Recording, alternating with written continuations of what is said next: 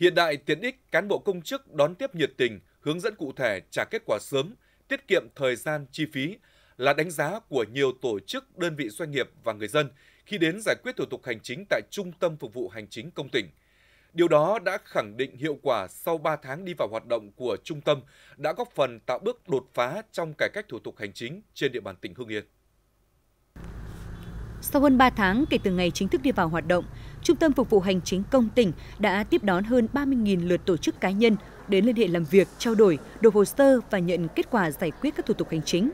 Trung tâm đã tiếp nhận gần 13.000 hồ sơ giải quyết thủ tục hành chính, đã trả cho tổ chức cá nhân trên 10.700 hồ sơ. Số hồ sơ còn lại đang trong thời hạn giải quyết, trong đó có trên 99,4% tổng số hồ sơ được trả đảm bảo trước và đúng hạn.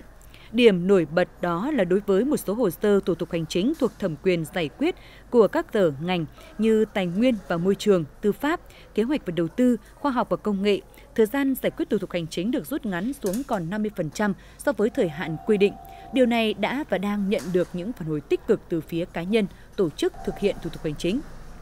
Tất cả các ờ, nhân viên ở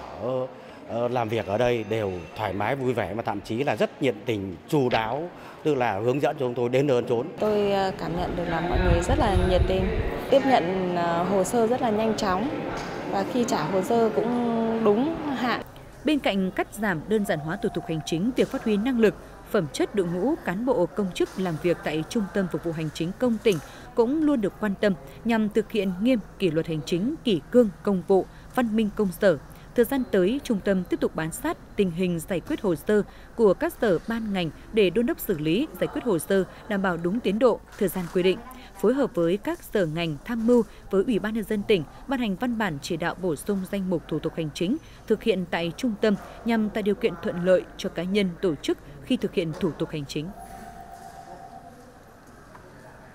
Trong thời gian tới thì căn cứ vào cái tình hình thực tế thì chúng tôi sẽ tiếp tục tham mưu lãnh đạo Ủy ban nhân dân tỉnh ra soát à, cắt giảm những cái thủ tục hành chính à, dườm già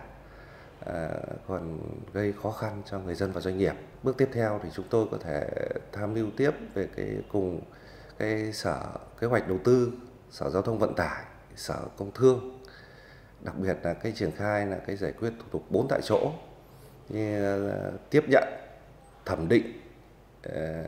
đóng dấu và trả kết quả ngay tại trung tâm để rút ngắn gọn thời gian giải quyết thủ tục hành chính cho người dân và doanh nghiệp.